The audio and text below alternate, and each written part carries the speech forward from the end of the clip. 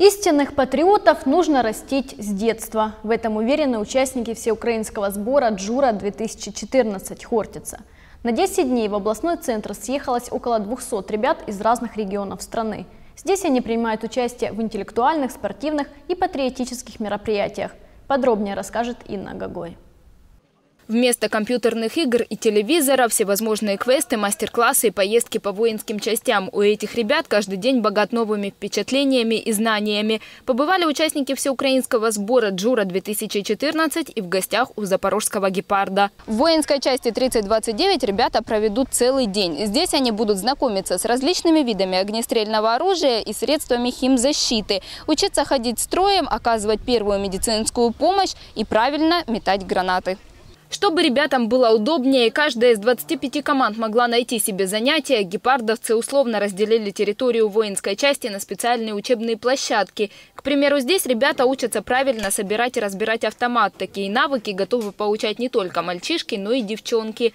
Воспитанницы клуба юных миротворцев, подруги Юля и Саша приехали в Запорожье из Каменец-Подольска. Говорят, такие мероприятия им по душе.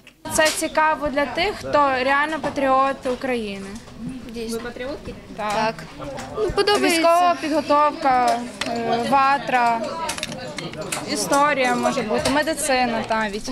Организаторы говорят, на таких сборах дети находят новых друзей, ведь с иранского языка джура переводится как «товарищ». В Украине в 16-18 веках так называли молодых парней, которых казаки обучали военным премудростям и брали с собой в походы. А еще у ребят закаляется характер и прививается чувство патриотизма, отмечают участники мероприятия. Сам збір е, передбачає е, навчально-тренувальні заняття, майстер-класи е, з е, військово-спорти- військово-технічної спортивної підготовки.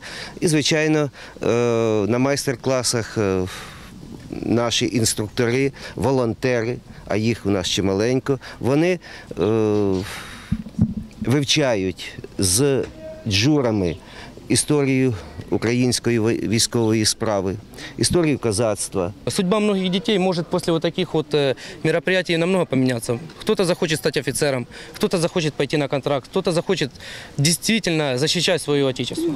Также в этот день ребята пообщались с теми, кто уже стоит на защите Украины. Бойцы Сергей и Михаил 10 дней назад вернулись из зоны АТО. Рассказывают, пробыли там больше месяца, повидать за это время довелось немало. Бомбили это постоянно. Плюс то, что мы встречались, так получилось, вовремя среагировали и от- отошли с позиций, потому что на нас шли два танка. Много эмоций на самом деле. Больше отрицательных как бы. Друзей теряем, одногруппников и так далее. Сейчас Михаил и Сергей находятся в режиме ожидания. Говорят, в зону АТО могут вернуться в любую минуту. С юными джуровцами бойцы поделились личным жизненным опытом, но умолчали о том, что повидали на востоке страны. Отмечают, эти истории не для детских ушей.